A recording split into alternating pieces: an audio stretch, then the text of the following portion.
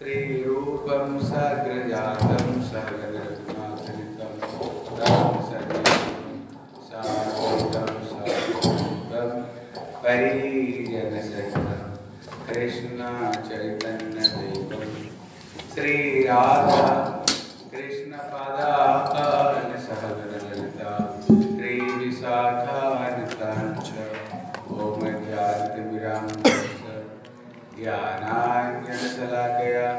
चक्षुरुन्मिलितं येन तस्मै श्रीगुरवे नमः। गुरुदेवाय धीमते सममृतये श्री श्रीमद्भक्ति श्रीरूप सिद्धान्ति प्रभु महात्मने। नमः विष्णुपादाय। राधिकाय प्रियात्मने। श्री नारायणी नमः विष्णुपादाय आचार्य श्रीधरुपिणे श्री श्रीमद्भक्ति प्रज्ञान केशवाय नामिने अतिमर्थचरित्राय स्वास्तिकानञ्च पालिने जीवदुःखे सदात्राय नाम प्रेमदायिने नमः विष्णुपादाय कृष्णपृष्ठाय भूतले श्रीमते भक्तिसिद्धान्त श्रीवासवाय कृपात्रे कृष्ण संबंध ज्ञान दायिनी प्रभव नमः।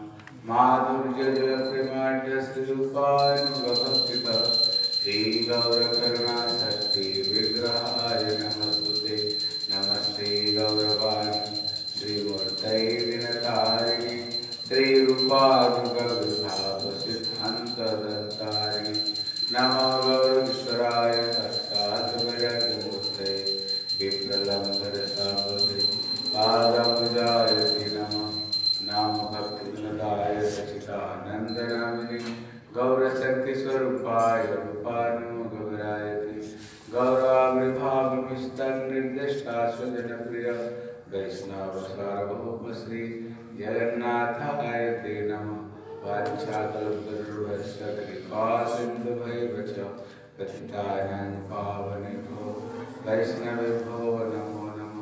वृन्दाय तुलसीदेवप्रिया केशवस्य नमो नमः श्रीकृष्णचैतन्यप्रभु नित्यानन्द श्री अद्वैत गदाधर श्रीवासादि गौरभक्तवृन्द हरे कृष्ण हरे कृष्ण कृष्ण कृष्ण हरे हरे हरे राम हरे राम राम राम हरे हरे कृष्ण हरे हरे चतुर्मुख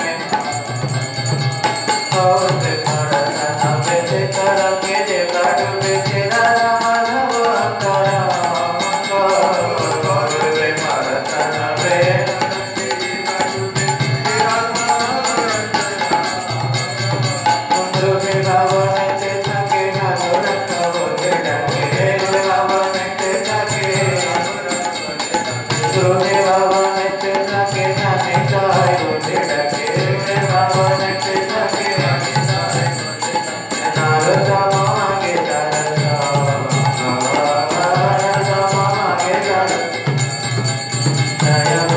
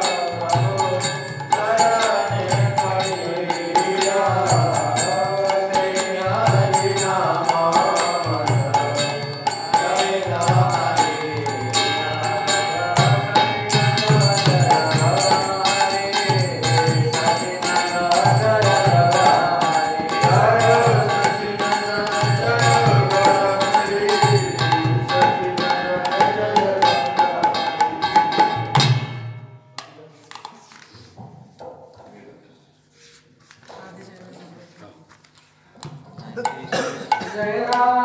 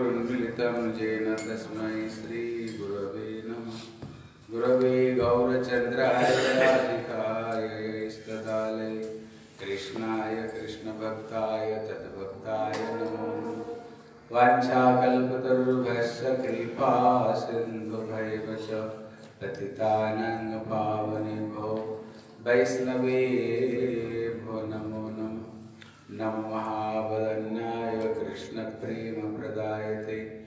कृष्णाय कृष्णचैतन्य नाम्ने गौरतुसे नमः। हे कृष्ण करुणा सिंधु दीनबंधु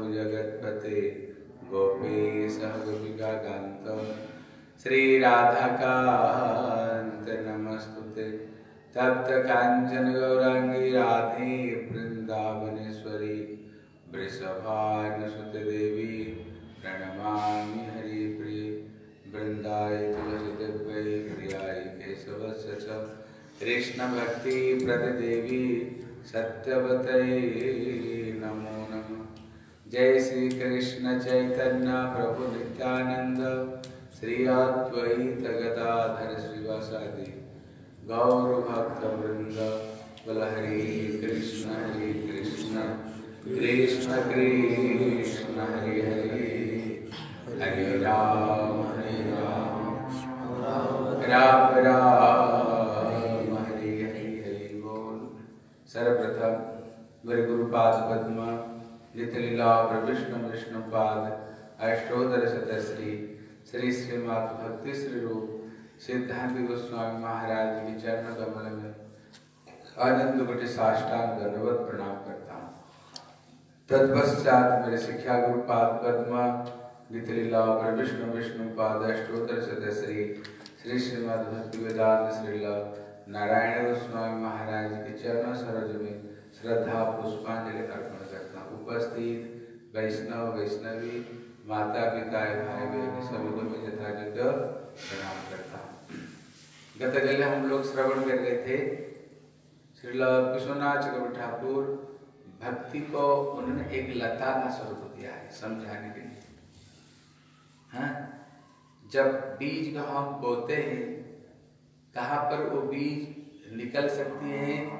वहीं पर अगर मिट्टी अगर उर्वर हो, मिट्टी अगर बढ़िया हो तभी उसी मिट्टी में ही वो पेड़ आ सकते हैं। अगर वो मिट्टी अगर हाँ, सही नहीं हो जिसको क्या बोलते हिंदी में? उत्सर उत्सर भूमि हो वहाँ पर वो बीज नहीं होगा बंजर पर- बंजर। हाँ बंजर हो कहते वहाँ पर पेड़ नहीं हो सकती है। इसलिए मिट्टी उर्वर होगा तो वहीं पर ही बढ़िया पेड़ निकलेगा कहते कि वो मिट्टी कैसे होनी चाहिए। इसलिए कल हम लोग श्रवण कर रहे थे, मिट्टी में एकदम शुद्ध होनी चाहिए। मतलब हमारा हृदय ही ये एक खेती है। लेकिन कौन सा हृदय में वो अंकुर आएगा? अगर हमारे हृदय में अन्याभिलाषता शून्यम, ज्ञान कर्माद्य अनावृतम अनुकूल्यन कृष्णानुशीलनम भक्तिरुतम। वो भी वो जो ज़मीन उसर होनी चाहिए, अच्छी होनी चाहिए। इसलिए बता ज़मीन कैसे? जिसमें किसी तरह का कोई संसार की कोई अभिलाष नहीं हो, उसमें केवल एक ही अभिलाषा हो, कैसे ठाकुर जी को हम प्रसन्न करें? ठाकुर जी को कैसे हम प्रसन्न करें? ठाकुर कैसे प्रसन्न हो? गुरु वैष्णव कैसे प्रसन्न हो? पहले ये भावना होनी चाहिए इसलिए अगर उनकी सेवा कैसे करें उनकी भक्ति कैसे करें उनको कैसे हम सुख दे सके, वो कैसे आनंद हो? हृदय में ये भावना हृदय में आनी चाहिए। इसलिए इसके बगैर और कोई दूसरी अभिलाष नहीं होनी चाहिए। मान, पूजा, प्रतिष्ठा, हैं? तरह तरह का विषय, भोग की वासना हृदय में नहीं होनी चाहिए, तभी वहाँ पर अंकुर आएगी। नहीं तो अंकुर नहीं नहीं तो वहाँ पर बीज खत्म हो जाएगी। बीज वहीं पर खत्म हो जाएगी। ज्ञान कर्मादि अनावृतम।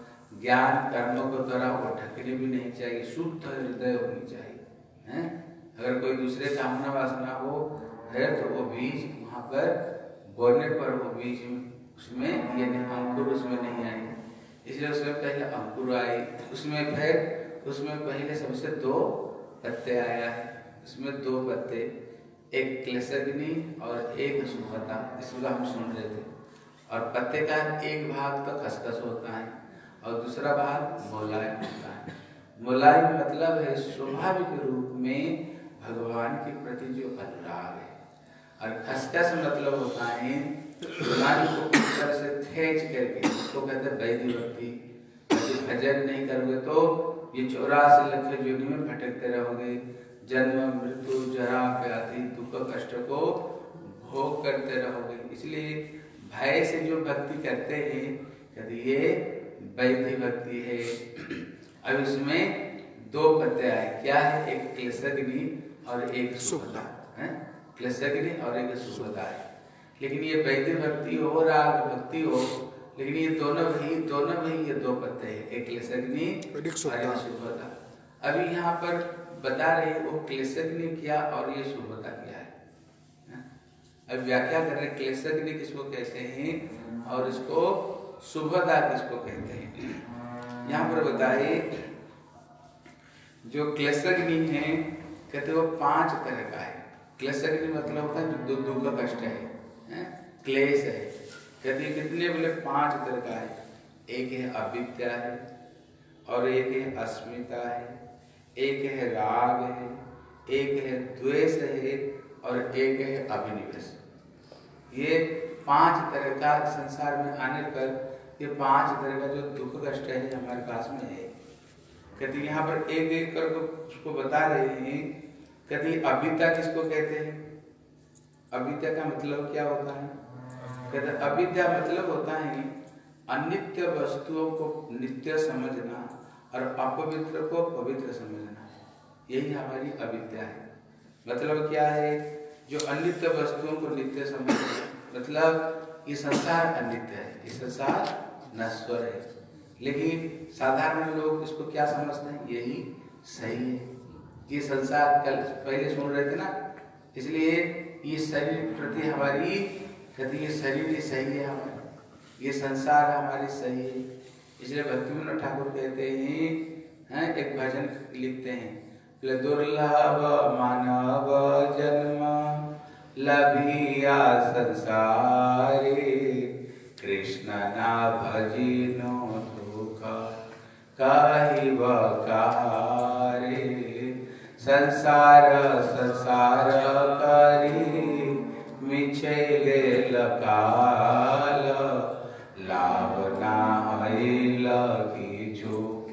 घाटिल जंजाल किसेर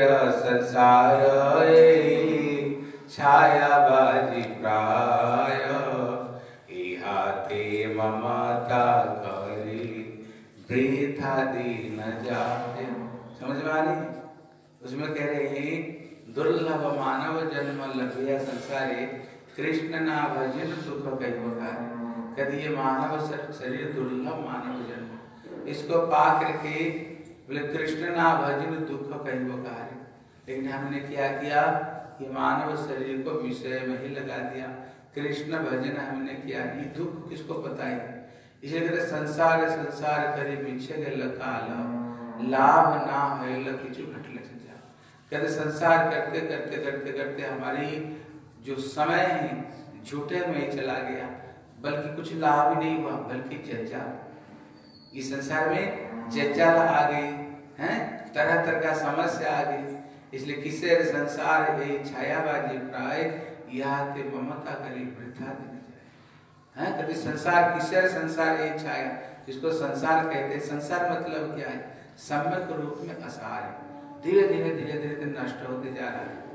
छायावादी मतलब है, झूठा है। हैं? यहाँ ते ममता करी वृथा जी न जाए। तो जिसको प्रति हम ममता करते हुए प्रेम करके हमारा समय बर्बाद किया एक छोटी सी स्टोरी सुनो। एक समय एक चेला गुरु जी के पास में आता था, कथा सुनने के लिए। एक दिन गुरु जी ने कहा, देख बेटा, ये जीवन दुर्लभ है। ये जीवन को संसार में नहीं गंवानी चाहिए। जीवन को प्रभु का भजन करते हुए गमाओ क्योंकि संसार झूठा है। कोई किसका है? नहीं स्त्री, पुत्र, परिवार, कोई किसका है? चेले ने कहा गुरु जी आपने थोड़ी संसार किया। है? आप तो संसार किया नहीं? जानते हो हमको अपना बीवी, बच्चे पिता माता कितना प्रेम करता है? आपको क्या बताए अगर वे घर में थोड़े से आने में देर हो जाए ना, बच्चे लोग रोना शुरू कर देते हैं। बीवी खाना नहीं खाती पिता माता तो दुखी हो जाते हैं। आपको क्या पता है संसार? आप तो संसार घर गृहस्थ किए नहीं। तो गुरु जी ने कहा, देख बेटा, ये संसार क्या है? तुम थोड़ा दिखा देता हूँ। बोले, क्या दिखाओगे? बोले, तेरे को एक मंत्र देता ये मंत्र बोलो लेकर के और ये मंत्र पढ़ते ही ना, ऐसा लगा कि तुम्हारा शरीर छूट गया, लेकिन शरीर छूटेगा नहीं। लेकिन सारी बात को सुन पाओगे। कौन क्या बोल रहा है, नहीं बोल रहा है। आज घर में जा करके तुम ये मंत्र को बोलना, देखना दो पिलर को बीच में बास मंत्र पढ़ करके वहीं पर गिर जाना। मंत्र बोलते तुम गिर जाओगे, हैं? और तो सुन पाओगे कौन क्या कुछ बोल रहे कि नहीं बोल रहे। और इधर से जाकर के तुम इतना बात बोलना, आज मेरी तबीयत अच्छा नहीं लग रहा है। शरीर पता नहीं क्या हो रहा है। अगर मेरे शरीर में कुछ इधर उधर हो जाए ना, थोड़ी सी हमारे जो गुरु जी को थोड़ा याद करवा देना। बोले, ठीक है। इतने में घर में गया। बोले, मेरे, आज तबीयत सही नहीं लग रहा है। कुछ परेशानी परेशानी सा लगता है, मेरे मर नहीं जाओ। और देखो, अगर मेरे शरीर में कुछ इधर उधर हो गया ना, थोड़ी सी मेरे गुरु जी को थोड़ी सी बुला। वो गया। और दो पिलर के बीच में बास गुरु जी ने जो मंत्र दिया था, वो मंत्र बोलते सचमुच से एकदम बेहोश हो गया। पूरा पूरा बेहोश हो गया। लेकिन सब सुन सकता है। और ऐसे गुरु जी बोले, ऐसे गिरना दोनों पिलर के बीच में, जब तक पिलर काटे नहीं, तब तक तुम्हारा शरीर नहीं निकलने चाहिए। ठीक है, उसने तो ऐसे कर दिया। कर दिया तो जाकर के बोले, तबीयत अच्छा नहीं लग रहा है गुरु जी को थोड़ा बुला लेना। पूरा परिवार इकट्ठा क्या हुआ क्या हुआ पता नहीं। अंदर से घबराहट आ रहा है। ऐसे करते करते मंत्र को बोल करके दोनों पिलर के बीच में हाथ पैर फेंक करके बात गिर गया। गिर गया तो सब घर में रोना, धोना, नाड़ी देखा, बंद श्वास में नाक में रुई लगा करके देखा, रुई भी हिल नहीं रहा है। इतने में, हैं, पूरा घर में रोना, धोना, इतने में पिता माता कह रहे हैं, अरे हम क्यों नहीं मर गए? हम तो दोनों बूढ़ा बूढ़ी हो गए और कितना दिन ज़िंदा रहेंगे? ये काल देखो कैसे हाँ निर्दया है, हमारे बेटे को भी लेंगे आप। हम क्यों, हम तो मर जाते अच्छा रहता। इतने में पत्नी कह रही है, मैं क्यों नहीं मर गई? क्योंकि अभी यही तो कमा करके घर को पालते थे। मैं मर जाती तो कम से कम ये तो बच्चों को पाल लेते। बच्चे करे भैया, हम क्यों नहीं मर गए? क्यों घर में कमाने वाले एक ही व्यक्ति था? सब कह रहे, हम क्यों नहीं मर गए? एक ही मर गए? चार तरफ़ में रोना रोना शुरू हो गई। लेकिन उन्होंने बताया था थोड़ी सी गुरु जी को याद कर देना। बोले, चलो गुरु जी के पास में गुरु जी के पास में गुरु जी आपको जो चला था ना, पता नहीं इस घर में आए और उनकी शरीर छूट गया। इनकी शरीर छूट गया। बोले, क्या? अभी अभी तो आश्रम से गए, हैं? गुरु जी को तो सब पता है। बोले, अभी अभी तो आश्रम से गए, इतना जल्दी गए शरीर छूट गया। बोले हाँ आ करके बोले तब सही नहीं लग रहा है करते करते एकदम तो शरीर छोड़ दिया। गुरुदेव भागते भागते आए और हाथ नाड़ी पकड़ा बंद है नाक में रुई लगाया, शरीर पूरा का पूरा खत्म। इतने में गुरु जी ने कहा, देखो, एक काम कर सकते हो, अगर एक काम कर सकते हो, ये चिंता हो जाएगी। बोले, गुरुदेव, आप जो बोलोगे, हम सो करने के लिए तैयार है। बताओ तो बोले, क्या करना पड़ेगा? बोले, काम इतना ही है, इनकी विनिमय में किसको प्राण देना पड़ेगा? तभी ये ज़िंदा हो जाएगा। कोई प्राण दे दो, तब ये बच सकता है। जब उन्होंने इतनी सी बात बोली ना, जो रो रहे थे सबका आँखों से आँसू सूख क्यों? प्राण देने का समय आया। प्राण देने का समय आया ना जो रो रहे थे, सबके आँखों से आँसू पूरा का पूरा बंद। किसका? नंबर नहीं आ जाए कौन मरना चाहते हैं? सब रोना धोना सब कुछ बंद हो गया वहाँ से। इतने में गुरु जी ने कहा, देखो पिता माता को बोले, आप तो दोनों वृद्ध हो गए। कुछ दिन में मरने वाले हो, बच्चा तो जवान ही है आप प्राण दे दो। पिता माता कहते, भैया, मरता हुआ आदमी को भी ज़िंदा होता है। और कितना दिन ज़िंदा रहेंगे? थोड़े दिन ज़िंदा रहेंगे। थोड़े से अच्छे अच्छे खाएँगे, घूमेंगे ये करेंगे। इसलिए मरा हुआ व्यक्ति थोड़ी ज़िंदा आता है। मर गया तो छोड़ दो। और कितना दिन ज़िंदा रहेंगे हम? हाँ थोड़ी सी खाएँगे, पिएँगे, घूमेंगे। बोले, आप ही तो अभी अभी तो बता रहे थे। हम क्यों नहीं मर गए? बच्चा क्यों मर गया? अब तो अभी अभी बता रहे थे। बोले प्राण नहीं दो, बोले, नहीं, हम प्राण नहीं दे सकते। मर गया, जला दो। अब उनको पत्री से पूछा, बोले, तुम तो बोल रहे थे, अगर ये ज़िंदा रहते पैसा कमा लेते, संसार को पाल लेते, मैं क्यों नहीं मर? गई बोले, मैं पिता माता की एक ही बेटी हूँ, हैं? पिता माता मेरे बगैर रह ही नहीं सकते। रोज रोज बोल आती घर से कैसे हो बेटी? हैं? इसलिए, अरे मरा हुआ व्यक्ति कभी ज़िंदा होता है? छोड़ दो ना मर गया छोड़ दो। बच्चों को बोले बोले, अभी तो हम छोटे बच्चे हैं, हम क्यों मरेंगे? अभी तो बहुत ज़िंदगी जीना है, लिखाई, पढ़ाई करना, नौकरी, चाकरी, शादी शुदा संसार थे हम कुछ देखे नहीं हम क्यों इसलिए मर गया मर गया, छोड़ दो। इतने में गुरु जी ने कहा, देखो भैया, दोनों पिलर के बीच में ये फंसा हुआ है। ये शरीर को निकालने के लिए तो ये पिलर को तोड़ना पड़ेगा। पत्नी ने बोले, पिलर क्यों तोड़ोगे? फिर उसको बनाना पड़ेगा कि नहीं? है? मैं तलवार खड़ग ले आता उसका हाथ काट कर निकाल वो तो सब सुन रहा था ना वो मरा नहीं सब सुन रहा था। हैं? वो सचमुच से ले आया, तलवार ले आया। वो तो डर गया, वो ना शरीर जीता हुआ। हाथ पैर काट नहीं थे हैं? वो तो डर रहा था घबराहट उठ रहा था। इतने में गुरु जी ने बोले, तुम लोग कोई प्राण नहीं दोगे? बोले, गुरुदेव, हम कैसे प्राण दें? क्या गुरु जी बोले, मैं प्राण दे दूँ? बोले गुरु जी ये तो बहुत बढ़िया आपका कोई बीवी बच्चे पीछे कोई है नहीं, आप मर जाओगे तो वो नहीं कोई तो है नहीं आपकी बीवी बच्चे। गुरुदेव आप ही प्राण दे दो सबसे बढ़िया आप ही प्राण दे दो। गुरु जी ने कहा, ठीक है मैं प्राण देता हूँ। गुरु जी गए, वो तो मरा नहीं था। गुरु जी उसको छाती पर हाथ रखे, हाथ रख करके मंत्र पढ़ते ना, बस ज़िंदा हो गया। ज़िंदा होकर के बैठ गया। बैठ गया तो गुरु जी जब चल पड़े इतने में वो भी उनको पीछे पीछे वो भी चल पड़ा। बोले पिता माता बेटा, तू कहाँ जा रहे हो? पत्नी कह रहे, तू कहाँ जा रही हो? बच्चे बोले, पिताजी अब कहाँ जा रहे हो? तो उसने कहा, जिसने प्राण दिया उनको साथ में जा रहा मैं तो सोच रहा था, भैया, ये तो सबके सब बड़े प्रेम करते हैं। सारा दुनिया हमें बड़े प्यार करता है। मैं, हमारा नेता मैं सारी बात को सुन रहा था। कौन क्या मेरे लिए बोल रहा था? मेरा तो बहुत बड़ा भ्रम था। ये हमें बड़े प्रेम करते हैं, संसार हमें बड़ा प्रेम करते हैं। इसलिए भक्तिमोहन ठाकुर कहते हैं किससे रे संसार ए छायाबाजी प्राय यह ते ममता गली की जाए। दीन जाए, मिच्छा काजे, निशा निद्रा बसे, नाही जानी मरण निकट आचे बसे।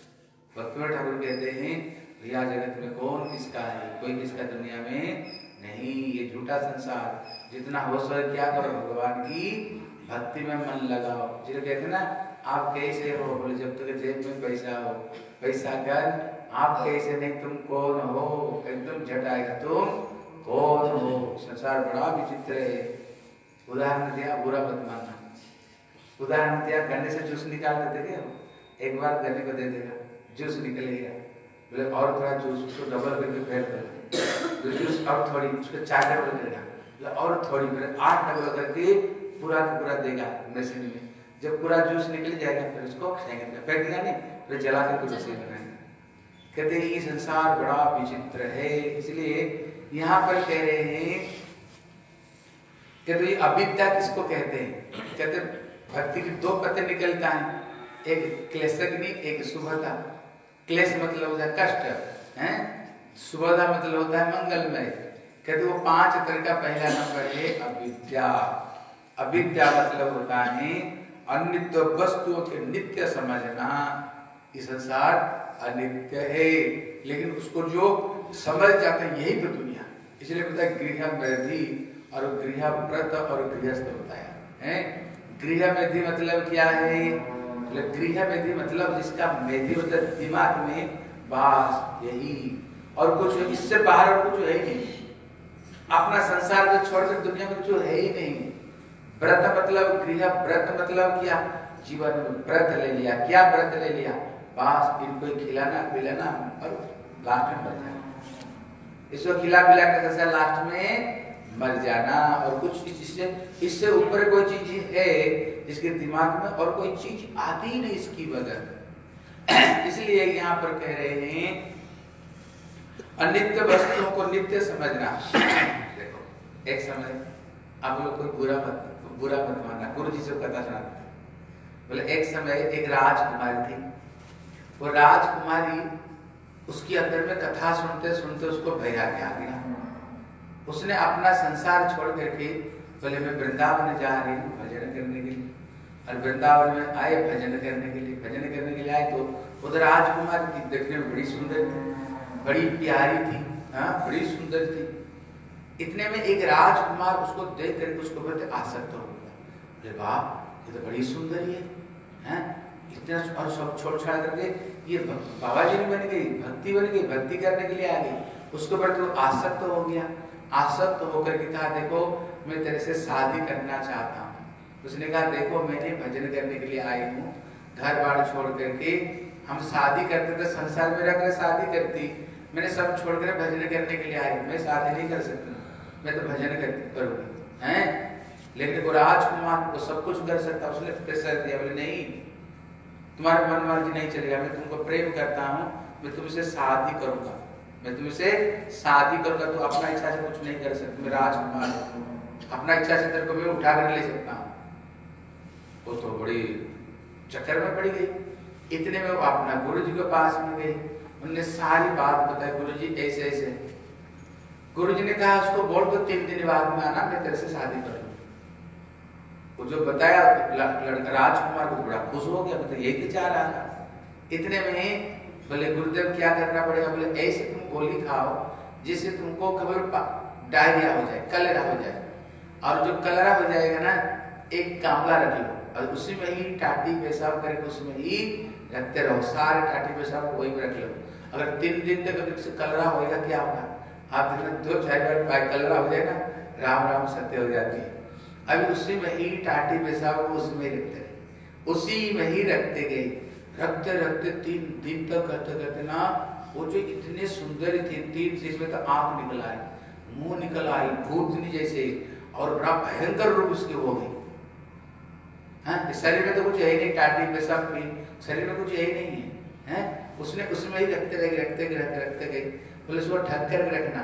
तीन दिन बाद में जब आएगा ना उसको उसको खोल कर दिखा देना इतने में वो तीन दिन के बाद में आया। आया वो वही राजकुमारी जो पहले देखने में बड़ी सुंदर थी। लेकिन उसको पहचान नहीं पा रहा उसको पहचान नहीं पा रहा आकर उसको ही पूछ रही वो जो राजकुमार थी, वो कहाँ गई? इतने जो सुंदर राजकुमार थी, वो गई कहाँ? बोले आओ हम उसको दिखाता हूँ। बोले, क्या दिखाते वो जो गामला में जो टाटी, पेशाब उसमें करते करते उसमें बदबू आ रही थी कपड़े से ढक कर रखती इतने में वो कपड़े को उसने खोल दी। खोल दी तो नाक फट रहा है, खड़ा भी नहीं हो सकते हो इतने बदबू आ रही थी उसमें। इसमें बोले, ये देखो राजकुमारी। बोले, ये क्या दिखा रहे हो? वो जो सुंदर राजकुमार थी, वो गई कहा? बोले, यही है ना? देखो, यही है। तो उसने कहा, देखो, वही राजकुमारी में चूँकि मेरे अंदर में ये टाटी पेशाब खोल पीक थी, इसलिए मैं इतने सुंदर देखने में लग रही जब ये शरीर से वो निकल गई, आप मेरे को देखकर पहचान पा रहे हो मैं वही हूँ। क्योंकि अंदर में टाटी पेशाब था ना इसलिए तू इसी को प्रति आसक्ति था ना, तुमने देख ले, यही है। उसको भी संसार से वैराग्य गया। उस चीज़ को ना, उसको भी संसार से, उसको भी वैराग्य हो गया। इसलिए यहाँ पर कह रहे हैं, ये अविद्या मतलब क्या है? बोले, अविद्या मतलब होता है अनित्य वस्तुओं को नित्य समझना ये शरीर अनित्य है संसार अनित्य है। लेकिन उसको जो नित्य समझ करके उसमें जो आसक्ति करता है हाँ, यही सब कुछ इससे ऊपर और कुछ है नहीं कहते यही अविद्या है। इसलिए इस सारे अविद्या को छोड़कर क्या करनी चाहिए? हरे कृष्णा हरे कृष्णा कृष्णा कृष्णा हरे हरे हरे राम। राम राम, हरे हरे। कहते अपवित्र को पवित्र समझना, यही अविद्या है जो अपवित्र वस्तु है, उसका हम उसको पवित्र मान लेते हैं। और दुख को सुख समझना। संसार में दुख, कोई तन से दुखी, कोई मन से दुखी, कोई धन से दुखी, कोई परिवार से दुखी, कोई बेटा से दुखी, कोई बेटी से दुखी, कोई बहू से दुखी, कोई सास से दुखी। लेकिन रोज पीठ के ऊपर हाँ झाड़ू लगती है। रोज सबकी आप सेवा करते हैं। लेकिन सबके गाली सुनते हैं सबके, सबको सेवा कर रहे हैं, लेकिन सबकी गाली भी सबको सुनना पड़ रहा है हाँ? इसलिए कहते दुख को क्या समझ लेते हैं? बोले, भैया, यही तो सब कुछ है। यही सब कुछ, इससे अलावा जगत में और कुछ है ही नहीं। इसलिए कहते अनात्म वस्तु में आत्मबुद्धि होना जो अनात्म वस्तु उसको में ही आत्मबुद्धि, शरीर प्रति उसको ही सब कुछ समझ लेता है। और इससे अविद्या कहते हैं, इसको ही अविद्या कहते हैं, इसको अर्थात देह, गेह, स्त्री, पुत्र, विषय आदि नश्वर वस्तुओं को नित्य समझना एवं रक्त, मांस, मेद, अस्थि, माल, मूत्र आदि से परिपूर्ण इसी अपवित्र शरीर में पवित्रता या उसके प्रति भोग बुद्धि होना, इन क्षुद्र विषयों को परिणाम स्वरूप भयावह जन्म, मरण आदि नरक आदि दुख भोग होते हैं। इसी विषय सुख और घनीभूत दुख में सुख बुद्धि रखना, देह दैहिक आदि अनात्म वस्तु में आत्म बुद्धि रखना, ये सब अभी अनित्य वस्तु में नित्य समझ लिया और जो एक दिन नष्ट होने वाले वस्तु उसमें आसक्ति हो गई आसक्ति होने के नाते क्या होता है? किसी जीवन दूसरे जीवन, दूसरे में तीसरे जीवन, तीसरे में चौथे जीवन, ऐसे ही हम भ्रमण कर रहे हैं संसार में। झूठे संसार में पड़ करके हमारे उड़िया में भजन है, सुखा खड़ा खड़ा, मिच्छा माया रे पड़ी हो, लड़ा बड़ा। हमारे उड़िया में भजन है ना? सुखा खड़ा खड़ा और मिच्छे माया रे पड़ी हो, लड़ा बड़ा, सुखा खड़ा खड़ा। मतलब हमारे उड़िया में भजन है, बहुत बड़ी प्यारी भजन है। कैसे हम छोटे संसार में कैसे फंस करके, कैसे उसमें लटर पटर, उसमें लटर पटर हो रहे इसको कहते हैं अविद्या। कहते अस्मिता किसको कहते हैं? कहते अस्मिता कहते हैं मैं और मेरा। इस प्रकार का जो अभिमान और जो मोह है कहते उससे अस्मिता कहते हैं। हैं? संसार में क्यों? शरीर में हूँ और ये शरीर वस्तु मेरा है। लेकिन अगर यही मैं मेरा अगर प्रभु को प्रति करते मैं कौन हूँ? ठाकुर जी का। और मेरे जितने वस्तु ठाकुर की सेवा की वस्तु कल्याण हाँ, मैं मेरा ते तेरी यही माया है। लेकिन अगर इसको घुमा दोगे बस नहीं। मैं कौन हूँ ठाकुर का सेवक हूँ ठाकुर जी का भक्त हूँ। और जितने मेरे वस्तु सब ठाकुर का सेवा गुरु वैष्णव की सेवा के बाद इसमें ही हमारी कल्याण हो जाएगा। केवल उस चीज़ को घुमाने पर ही कल्याण हो जाएगी। जैसे शरीर को जो अविद्या बताए लेकिन अगर इस शरीर को हम कृष्ण दास है इसलिए जब पूजा करते हैं ना ठाकुर जी को पूजा करने से पहले एक मंत्र बोलते हैं। वो मंत्र क्या हाँ, ना हम विप्र न च नरपति न पिबस्य न शूद्र वर्णी जत्रिवा किंतु प्रद्युम्न निखिल परमानंद पूर्ण दे गोपी भक्त पद कमल दास दास जब ठाकुर को पूजा करते हैं ना ये मंत्र सबसे पहले ये मंत्र बोलते बोले क्यों कहते मैं कौन हूँ मैं ना हम वर्णी न गृहपति न जतिर मैं कुछ नहीं हूँ मैं कौन हूँ भगवान की जो सेवक है गोपी भक्त पद कमल दास मैं भक्तों का, दासों का दासों का दास हूँ। अगर ये चीज़ को छोड़ करके अगर उसको इसमें लगा दे, हम भक्तों की, गुरु की ठाकुर जी की, हम दास दास। हम बस कल्याण हो जाएगा। हमारी कल्याण हो जाएगी। कहते उसमें द्वेष क्या है? बोले, द्वेष कहते हैं, सुख या दुख के कारण के प्रति विरक्ति का नाम द्वेष है हैं? द्वेष उसे कहते हैं जो सुख और दुख को जो कारण है, हैं? उसको प्रति विरक्ति का नाम उसको द्वेष होता है बोले, अभिनिवेश किसको कहते हैं कभी अभिनिवेश है अनुकूल विषयों को प्राप्त करने के आधार स्वरूप शरीर में आसक्त होना और मृत्यु के भयभीत होने का नाम अभिनिवेश है इसलिए संसार में हमारा बड़ा अभिनिवेश है आसक्ति है ना? अभिनिवेश। कहाँ पर? हमारे अभिनिवेश है। कहते अभिनिवेश तो होनी चाहिए भगवान के प्रति। लेकिन यहाँ हमारे ठाकुर का प्रति हमारे कोई अभिनिवेश नहीं। इसलिए भरत महाराज ने अभिनिवेश हिरण के प्रति अभिनिवेश हो गया। इतना भजन किया। अपना संसार को मलबद उन्होंने त्याग दिया था। हैं? मलबद उसने त्याग देकर भजन के लिए आए। लेकिन लास्ट में क्या हो गया? अभिनिवेश कहा? एक हिरण के प्रति कितने सुंदर हिरण है। यहाँ जब, है उदकता है, जहाँ चरण गिरता है, वो जगह स्थली बन जाता है। अरे, कोई शेर तो आकर खा नहीं जाएगा हिरण को, हैं? हिरण को तो खा नहीं जाएगा। इतने में एक दिन एक झूठ, एक हिरणा कभी जो भजन करता था, हिरण कभी बचपन से उसको पाला, कभी गोद में चढ़ जाए, कभी सीख से उसको खुजलाए, हैं? बस, बोले, यही सब कुछ है। यही सब कुछ हो गया। भजन में मन क्या लग गया? चिंतन हो गया, हिरण का प्रति। हिरण तो हुआ था एक दिन एक झूठ हिरण है उसको पीछे चला गया बस उसकी काल का समय आया। काल का समय आया तो अब हिरण के प्रति अभिनिवेश हो गया। बस उसको चिंतन करते करते दूसरे जीवन में हिरण बन गया। इसलिए कहते हैं जो अभिनिवेश है कहते मृत्यु के भयभीत होने का नाम अभिनिवेश। हाँ, कहते ये अनुकूल विषय के प्राप्त करने के आधार स्वरूप शरीर में आसक्त होना और मृत्यु के भयभीत होने का नाम अभिनिवेश है।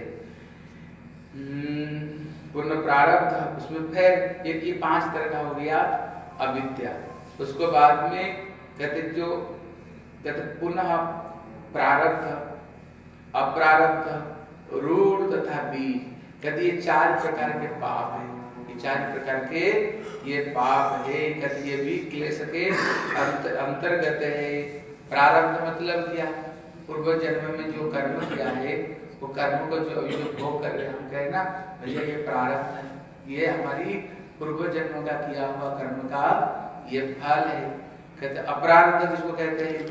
कहते अपराध कहते हैं, जो संचित है। अभी तक तो प्रारब्ध शुरू नहीं।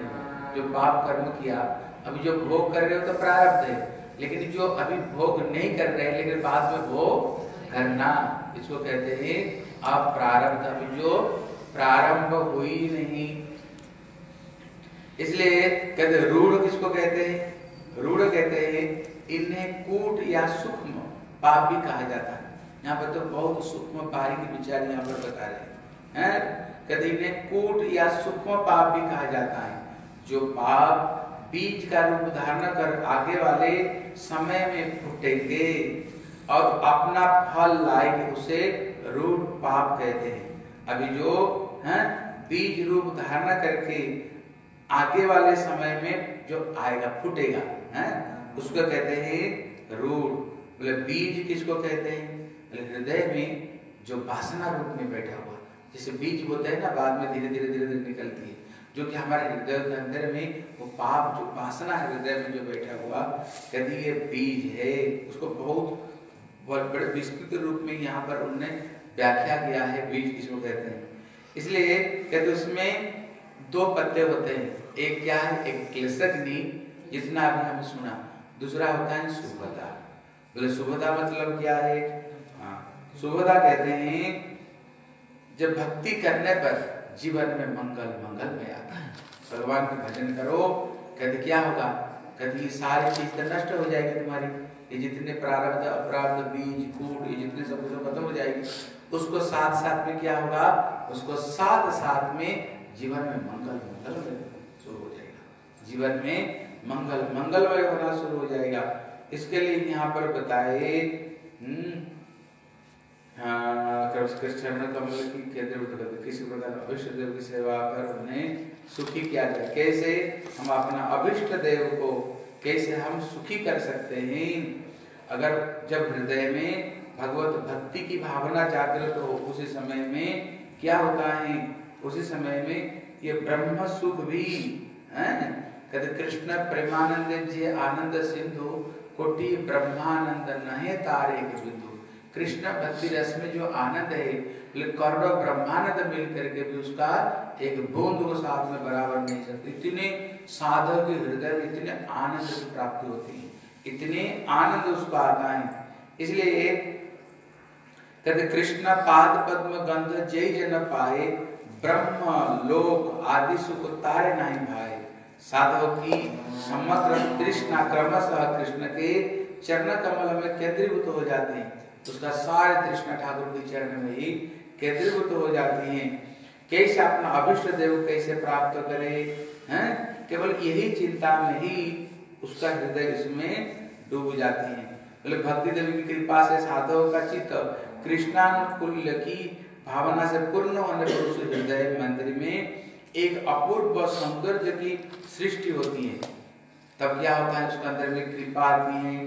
क्षमा गुण सत्य, सरलता, साम्य, धैर्य गांधीर्य मानदत्व अमानित तथा सर्व सौभाग्यादि गुण समूह अत्यंत स्पष्ट रूप में साधक के हृदय में उदित होकर के अपने सिद्ध अमृत धारा का दर्शन करते हैं। उसी समय भक्तों के हृदय में सचमुच एक अपूर्व शांति विराजमान होती है।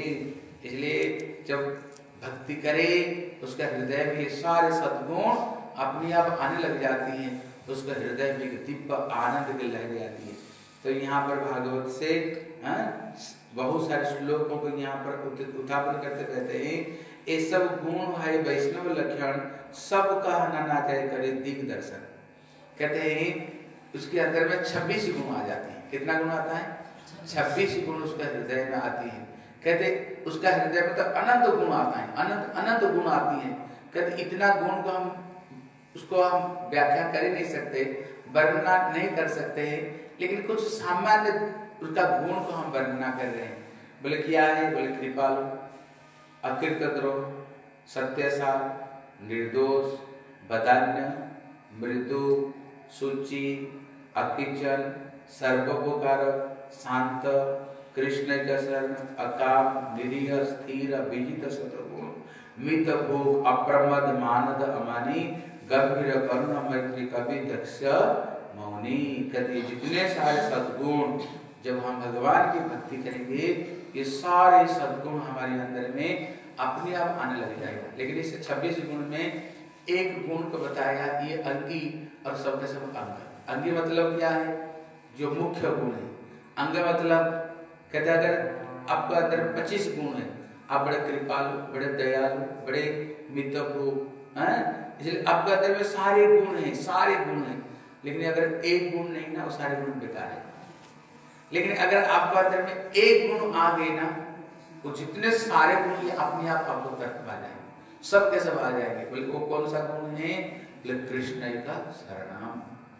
एक केवल कृष्ण के चरण में शरणागति होना हाँ? एक कृष्ण के चरण में शरणागति होना। जब ठाकुर के चरण में शरणागति हो जाएँगे, कभी जितने सारे सद्गुण अपने आप आपके अंदर में आ जाएगी। अगर सारे गुण आ गया और कृष्ण के चरण में की भक्ति नहीं, कभी सारे गुण तुम्हारी बेकार हो। किसी काम का नहीं जिताई गौर ब्रह्मानंदे हरि हरि बोल। इसलिए कोशिश करनी चाहिए विशेष करके हमारे अंदर में एक गुण आ जाए। कौन सा गुण आ जाए?